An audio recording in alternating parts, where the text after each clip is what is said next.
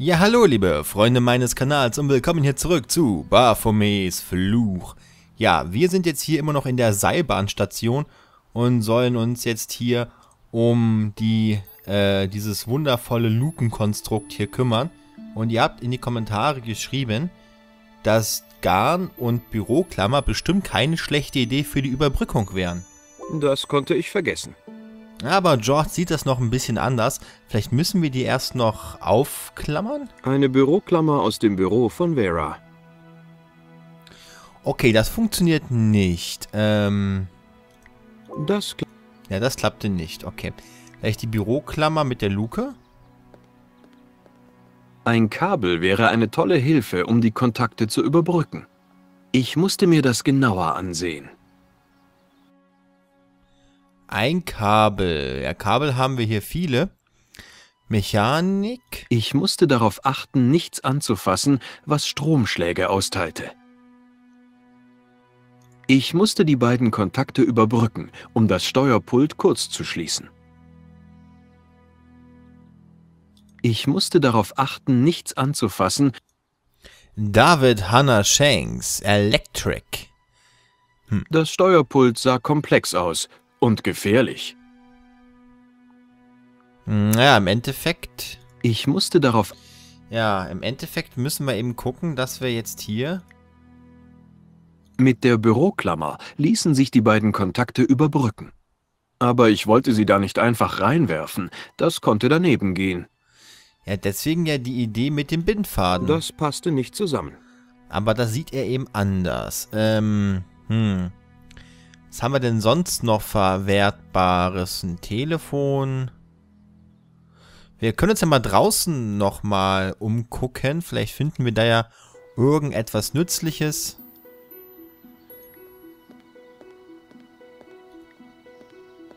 Hm, Die Marmelade vielleicht. Die Brotdose nochmal. Die Dose war bis zur Unkenntlichkeit zerquetscht. Hm, die Marmelade vielleicht mit der Büroklammer. Naja, ich hatte schon merkwürdigere Sachen getan in meinem Leben. Die Büroklammer war jetzt ganz klebrig. Okay, eine klebrige Büroklammer, Das klappte nicht. aber nicht mit dem Garn. Hm, aber wir hatten ja letztes Mal schon festgestellt, dass es sich oftmals lohnt, auch sich mal umzugucken, alle verfügbaren Möglichkeiten erstmal abzuklappern.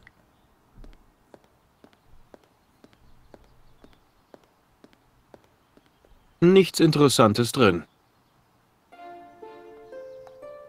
Ich glaube, rausgehen kann er jetzt gerade Solange eh nicht. läng- Nee. Außerdem war ich über... Okay. Niemand empf... Jemand da?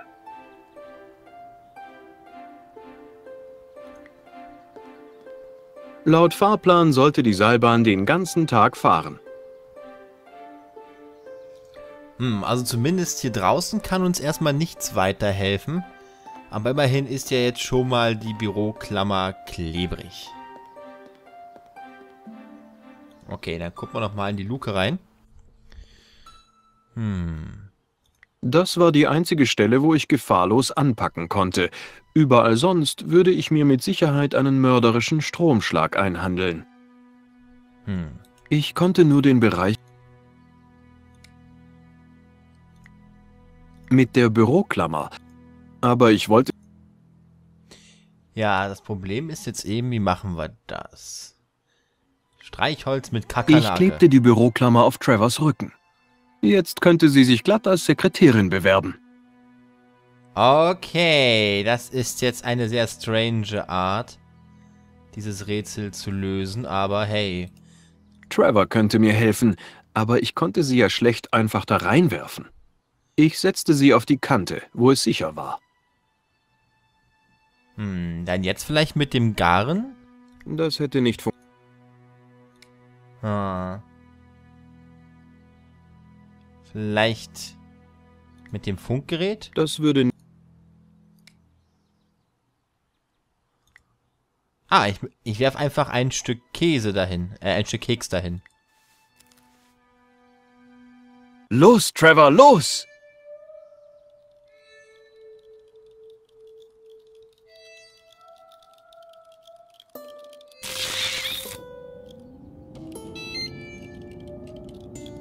Die arme Trevor sah aus, als brauche sie eine Therapie, aber das Steuerpult funktionierte wieder.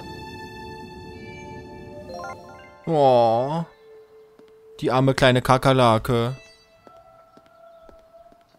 Das Steuerpult, es funktioniert! Toll, ich kann Sie da runterschicken, wenn Sie wollen. Lassen Sie mich nur kurz die Kabine hochholen. Pearl und Wayne werden sehr erleichtert sein. Oh, die sind wohl mit der anderen Kabine runtergefahren.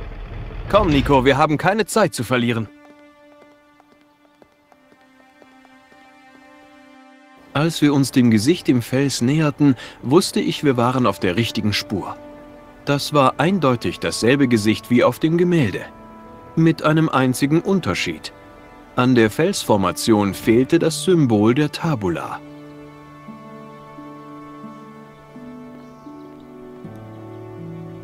So, da wären wir. Hm. Aber wie kommen wir zu dem Gesicht?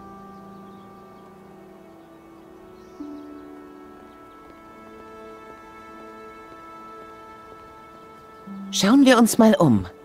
Es muss einen Weg hoch geben. Der wird dort bestimmt durch die Kapelle führen, weil anders kann ich mir das jetzt auch gar nicht vorstellen. Außer wir üben uns in Bergsteiger-Skills. Und ist auch noch eine Tür und hier ist ein ganz weiter Weg nach unten. Ah, diesmal steuern wir jetzt Nico.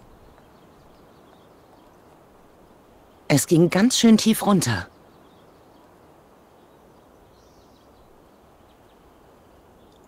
An der Tür hing ein Hochsicherheitsbügelschloss. Da kam ich auf gar keinen Fall durch. George, sieht aus, als hätte man die Kapelle direkt in den Fels gebaut. Du hast recht. Lass uns mal reinschauen. Ich überlege gerade, was meinst du, wie alt ist die Kapelle? Ich schätze, das Äußere ist ein paar Jahrhunderte alt, aber das Innere, wer weiß. Manche Teile könnten viel älter sein. Hm,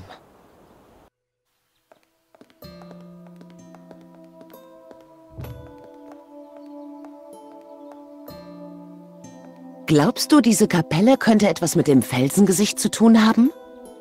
Ich würde mal raten, ja. Was zur... Hey, sieh mal, da sind Pearl und Dwayne. Komm schon, Muckel. Ist doch nicht so schlimm. Du verstehst das einfach nicht.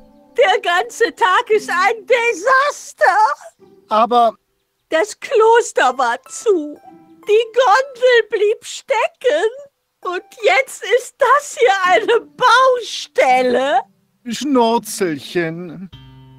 Das sollte der spirituelle Höhepunkt unserer Reise sein. Dwayne, eine spirituelle Erfahrung. Der einzige Spiritus hier ist das olle Terpentin da. Ach Mann. Der Urlaub der Hendersons lief offensichtlich gar nicht gut. So, darf ich jetzt wieder? Alles klar. Okay, äh, unsere Aufgabe ist es ja immer noch, äh, einen Weg zu finden. Und ja, da kommen wir wohl nicht drum herum, uns jetzt hier erstmal alles anzugucken. Zum Beispiel diese geheimnisvolle Felswand. Die Wand bestand hier aus blankem Fels. Es sah aus, als habe man die Kapelle in den Fels getrieben. Es war die Steinskulptur, eine kniende Figur. Das war ein alter Kurbelgriff. Ich glaube, wir kommen auch nicht drum herum, uns nochmal mit den Hendersons zu unterhalten. Von der Decke hing ein alter Lüster. Eine Statue der Madonna mit Kind wachte über die Kapelle. Man hatte einen modernen Gipsaltar an die Wand gebaut. Ein leerer, kaffeefleckiger Becher stand beim Altar. Das war ein leerer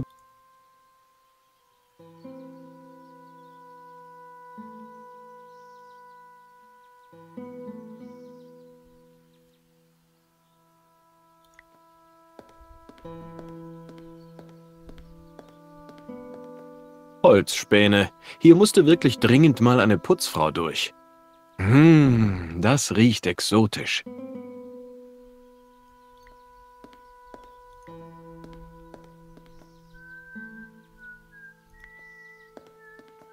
Das Gerüst war etwas wackelig. Alles schepperte, ein überraschend wohlklingendes Geräusch.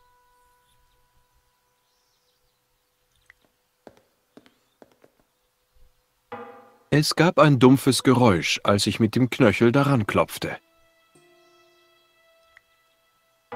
Es gab ein dumpfes Geräusch. Gut, dann quatschen wir mal mit den beiden. Schön, Sie wiederzusehen, Mr. Henderson. Auch schön, Sie zu sehen, George. Haben Sie prima gemacht, das mit der Seilbahn. Was ist mit Pearl? Ich wünschte...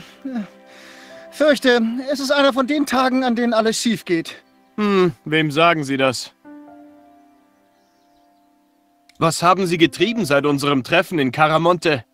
Naja, da war die kleine Episode in Rom. Aber kein Wort darüber. Sie wissen warum, George. Ach ja? Ich meine, ach ja. Warum? Streng geheim. Nichts für Außenstehende, Nico. Dwayne ist ein, äh, Döser. Ach, du meinst, ein Schläfer? Nein, nein, Süße. Ein Döser liegt mindestens zwei Gehaltsstufen über einem Schläfer. Äh, äh habe ich gehört. Wie auch immer, ich glaube, wir hatten noch nicht das Vergnügen, Miss, ähm... Nicole Collar. Nennen Sie mich Nico. Wie finde ich denn das? Das ist also die schöne Nico. Kein Wunder, dass Sie sie vor mir versteckt haben, Georgie Boy. Meine Güte, nein, ich... Nett, Sie endlich kennenzulernen, Mr. Henderson. George hat mir so viel von Ihnen erzählt. Nennen Sie mich Dwayne, meine Liebe. Und ich darf Ihnen versichern, alles, was Sie gehört haben, ist vermutlich wahr. Dwayne war laut, beleibt und kurzsichtig. Aber Mann, was für ein Charmeur. Ja, man muss mit dazu sagen, äh, an alle, die Baphomets Fluch noch nicht so kennen, dass die Hendersons wirklich in jedem Teil vorkommen, eben immer als die nervigen Ami-Touristen, die George bei, seinem Abend, äh, bei seinen Abenteuern helfen. Und ja, echt, Nico haben sie noch gar nicht kennengelernt, weil Nico war da immer nie dabei gewesen. Ich glaube sogar im Fanspiel Baphomets Fluch 1.5 oder 2.5 ich glaube 2.5 war das, äh, da machen die auch mit. Finde ich richtig geil. Also, das sind eigentlich zwei Charaktere, die tauchen echt in jedem Spiel auf. Also in jedem Baphomets Fluchspiel. Können wir für Pearl irgendwas tun? Das will ich doch sehr hoffen, George. Wir haben diese Reise jahrelang geplant und recherchiert. Unsere kleine Pilgerfahrt. Und die Kapelle Santa Cova hier war das Sahnehäubchen. Es gibt nichts, was sie über diesen Ort nicht weiß. Die Madonna bla bla bla, erbaut im Jahr bla blubber.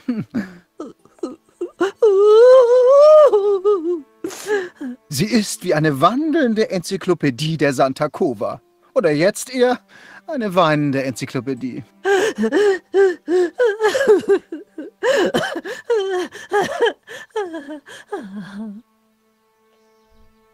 Und was führt sie zur Santa Cova?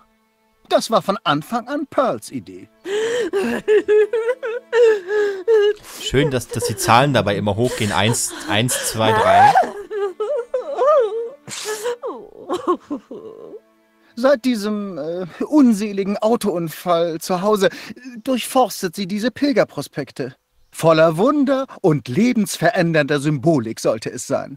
Sühnepotenzial musste es haben. Äh, Sollte eine echte spirituelle Erfahrung sein. Nun, ich bin sicher, das hier wird sehr spirituell, wenn es fertig ist. Der Heuler 2. Ich glaube, das sind diese Heuler-Takes, die damit auch gekennzeichnet Wenn die Kapelle sind. nicht Ihren Vorstellungen entspricht, wie wär's mit dem Kloster? Grundgütiger. Das ist was für Touristen, nicht für Pilger. Sie sagten, sie hoffe auf eine spirituelle Erfahrung? Das äh, hatte der Prospekt versprochen. Ja, für Wallfahrten, kleine Mönchlein, Gesang, Lichtstrahlen, das äh, ganze Programm halt. Weihrauch, Glockengeläut und himmlisches Licht. Genau, das ist es, was die Gute wollte.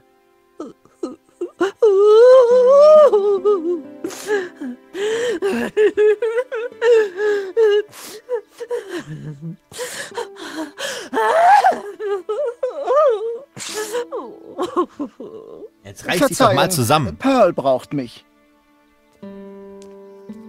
Na, na, Liebes. Pearl wüsste sicher eine Menge über die Kapelle zu erzählen. Wenn wir sie nur aufheitern könnten. Ja, also ich denke, dann wird jetzt unsere nächste Aufgabe werden, Pearl aufzuheitern. Und ihr könnt ja wie immer in die Kommentare schreiben, wie ihr das machen würdet. Vielleicht hättet ihr ja eine, äh, oder habt ihr ja eine tolle Idee parat. Schreibt sie einfach in die Kommentare, entweder auf gronk.de oder auf YouTube. Ich mache erstmal Päuschen für heute und wir sehen uns in der nächsten Folge wieder. Bis dahin, gehabt euch wohl, BB, Aya Hyuga.